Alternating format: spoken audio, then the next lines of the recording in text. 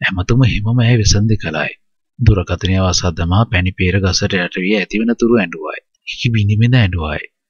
වාගේ තාත්ති පව් පැටියෝ. හරි පව්. වාගේ තාත්ති තරම් අහිංසක තාත්ති කෙනෙක් මේ මුළු ලෝකෙම නැහැ. එයා කොච්චර හොඳද? වාෂා ඇඬුවේ ඇගේ කුස අතගාමිනි. ඔයා කොච්චර දුක් විඳිනවද කියලා වාගේ කටහඬින්ම කියන්න පුළුවන්. වෙලාවකට හිතෙනවා ඔයාට මේ හැමදේම කියන්න. ඒත් අපේ දෛවය වා හිතනට වඩා දුෂ්කරයි රත්තරන්.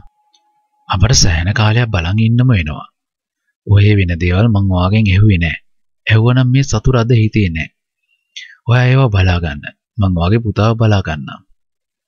ආයෙ සෑහෙන කාලයකට මං වාට කතා කරන්නේ නෑ. හැමදේම දෙයියෝ බල්ලා කරයි. ඔයාට දුක හිතේ. ඔයා මට බනි. මං දන්නවනේ ඔයා ගැන. ඒත් මේ නිහඬකම ගොඩාක් දේවල් දරාගන්න මට උදව් කරයි. මේ බඩේ ඉන්නේ ඔයාගේ පුතා. ඔයාගේ ජීවිතේ. එයා වෙනුවෙන් මං ජීවිතේ දරා ගන්නවා. ඔයාගේ අම්මා මාව අර ගෙදර බිම දාගෙන ලේන්න ගහද්දි ඔයාගේ මේ පැටියා බඩට ඇවිත්.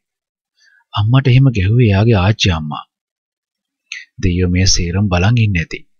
මං ටිකක් ජීවිතේ ඉඩ දෙනවලත් තරම් ආදරේ කරා නම් මේ දුක විඳින්නම වෙනවා.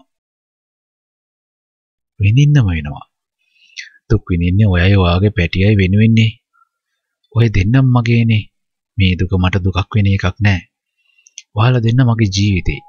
කවදාරි මම මැරුණත් මැරෙන්නේ ඔය දෙන්න දිහා බලාගෙන. වාෂාන්ඩුවේ එසේ සිතමිනි. කෙල්ලගේ මුහුණේ වූ කඳුළු පාරවල් මතට සඳැලිය වැටි මුහුණ දිලිසුණි රිදී පාටිනි. ප්‍රියංවදා එද සෑහෙන වෙලාවක් බලා වුණාය. සෑම දුක් කරදරයක් පිටිපසම සැනසීමක් දෙයි. අද වාෂාගේ මුහුණින් දුක් කරදර මැදිනුත් විඳින හීන් සතුටක සේයාවක් ඇත. ප්‍රියංවද අතව වුණු වතුර බෝතලයක් කුඩා කෝපයක් ගෙන මිදුලට බැස්සේ මේ ජීවිත තුන එකතු කරන්නට දෙවියන්ට බැරි නම් ඒ දේව පිළිමි පිපිරී ගියාවි කියා සිතමිනි. අසරණයන්ගේ හදවත්වල තමාට ඇති විශ්වාසය රකින්නට දෙවියන්ට නොහැකි නම් තවදුරටත් ඔවුන්ට පඳුරු පාක් කුඩා නොලැබෙනු ඇත. හඳ එළියේ හැමම කෙල්ලගේ තෙත කමුල් වලට වැටී තිබුණි. උණු වතුර බෝතලයේ ගල මත තබා ප්‍රියංවදා කෙල්ලගේ හිස අත ගෑවාය. වාෂා තමා අභිමුඛයට ආ ප්‍රියංවදාගේ බඳ බදාගත්තේ ආදරේනේ. එයා පව් කෙල්ලේ හරි පව්. වැඩිම දුක් විඳින්නේ මේ කෙල්ලේ. එහෙම වෙද්දිත් ඇයි කියන්නේ ඌ පව් පවය. ගෑනු කොතරම් පරාත්තකාමීද. ආදරේදී ඔවුන්ගේ හදවත දේවතාවයකගේ බඳුය. උඹ ගැනත් අයියා එහෙම හිතනවා ඇති. මූණ බලන්න ඕනලු. බෙල්ල බදාගෙන කිස් කරන්න ඕනලු. ඇවිත් බත් කටක් කවල යන්නලු. ප්‍රියංගදාගේ දැස් තෙත්තියේ. පුළුවන් නම් උඹ යනවනේ කෙල්ලේ. හිතේ තියෙන හැමදේම කිව්වා. දැන් මගේ හිත නිදහස්. අපි ජීවත් වෙන්නම ඕන කිව්වා. පැටියා ගැන ඒක ගැන කොහොම කියන්නේද? වාෂා කුසට අත තබා කීවාය.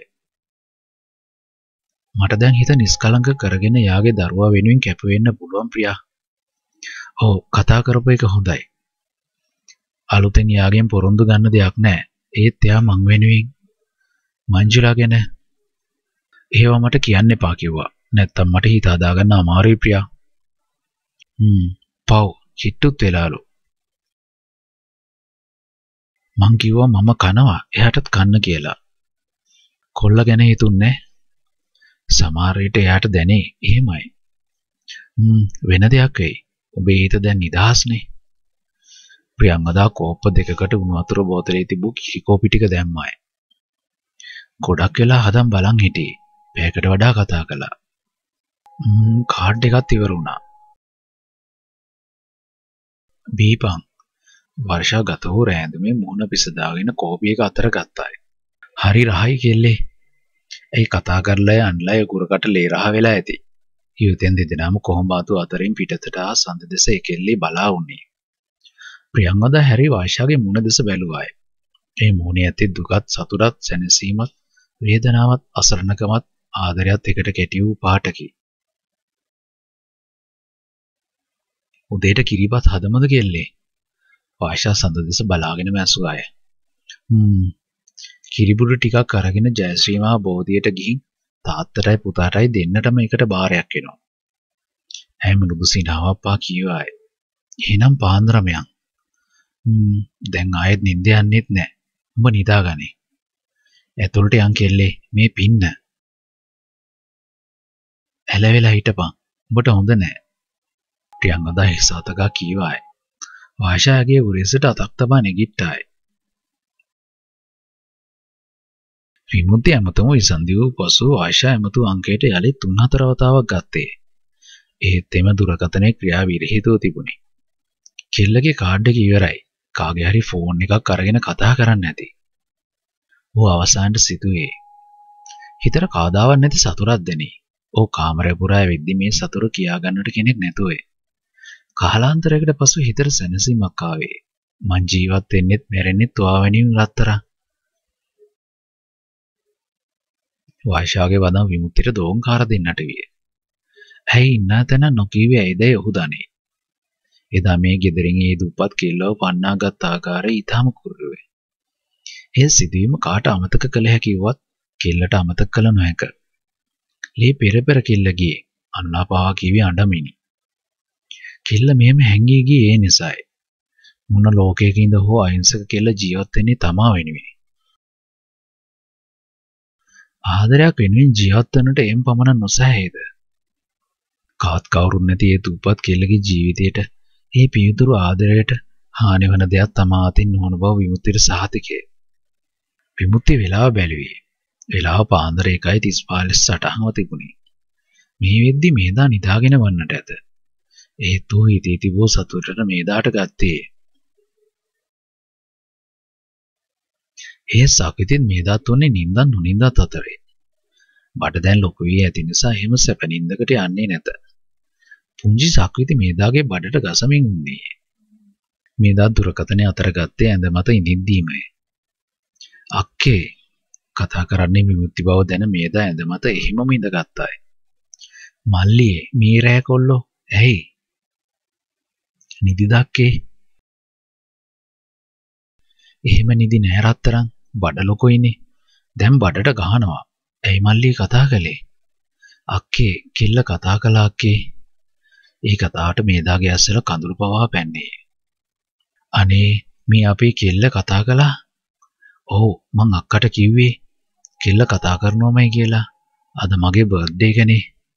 අනේ 12 පව් වෙලා නේද රත්තරන්. හැපි බර්ත්ඩේ වස්සේ. තැන්ක් යූ අක්කේ. හරියටම 12කට කෙල්ල කතා කළා.